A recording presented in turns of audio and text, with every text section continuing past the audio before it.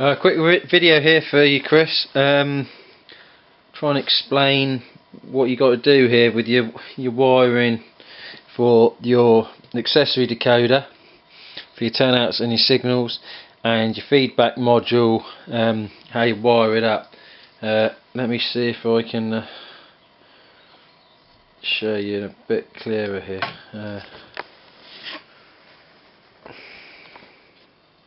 okay so if we start with the feedback module.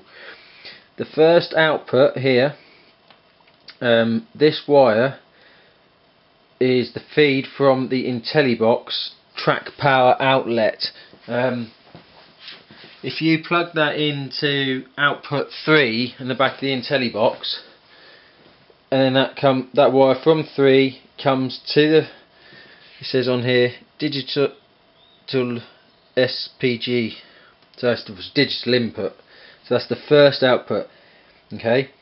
That you so so that wire with all your feedback modules has to then loop to each of the other feedback modules because that gives a digital signal from the IntelliBox to the module okay?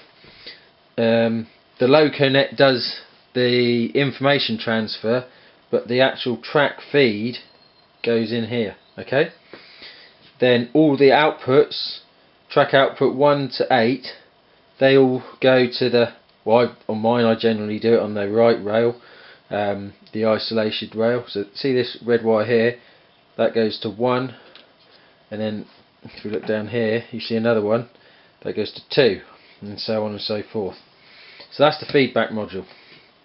Uh, we come to your accessory decoder I think you're getting yourself a bit confused here but um, the first output that says plus 15 volts equals that's your negative return for all your turnouts that are connected into this. So the black wire on all your Fleischmann point motors, that's the negative return goes to this one output. So if you put a bus wire underneath the whole layout, this could be your negative return for all your signalling, all your turnouts, everything. Okay. Uh, then, if you've got a, a turnout connected, output 1 would throw it one way and then we can tell output 2 to throw it the other way. So the first so the negative goes to the point motor then the light brown and the dark brown or if you've got the older point motors the other two colours. Um, then 3 4 will be the next turnout 5 6 will be the other turnout and so on and so forth so that is how you wire those up. In terms of your hold on LocoNet connection. Let's see if I can show you this. So that's the output out of the IntelliBox. That wire then comes into the first module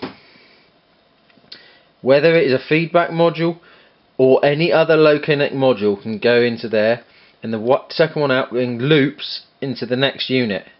Then this one would loop into the next unit and so on and so forth for however many you've got linked up. Um,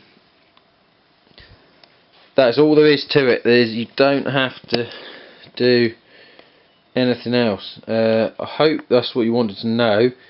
Um, I will do a little demonstration how you program the feedback module and the accessory decoder module from Uhlenbrock. Um,